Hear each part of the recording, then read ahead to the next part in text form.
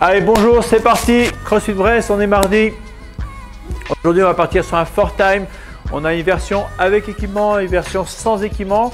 Je vais commencer par la version sans équipement.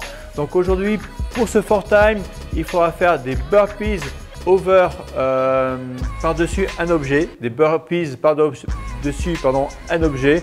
Vous pouvez prendre un sac, un ballon, euh, peut-être pas un ballon, parce que voilà, si vous tournez dessus, euh, voilà quoi.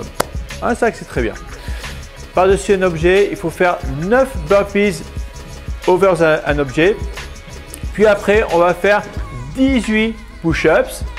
Après, on fera 15 burpees, 30 push-ups, 21 burpees, 21 push-ups.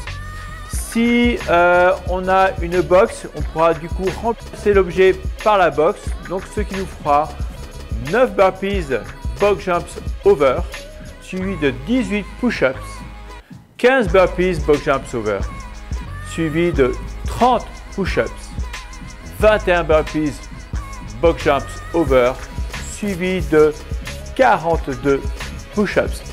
Avant ça, votre warm-up sera, on va faire 5 tours. Chaque station prendra 30 secondes.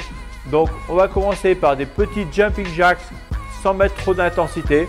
30 secondes de jumping jacks, suivi de 30 secondes d'activation Samson, suivi de 30 secondes de glute bridge, puis pour finir, 30 secondes de push-ups to dog dogs.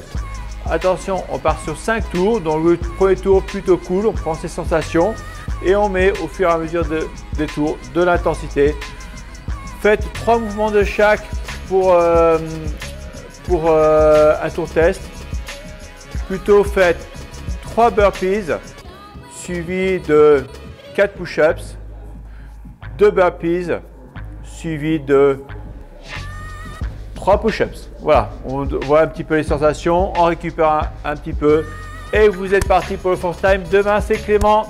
Très bon entraînement, très bonne journée ou fin de journée.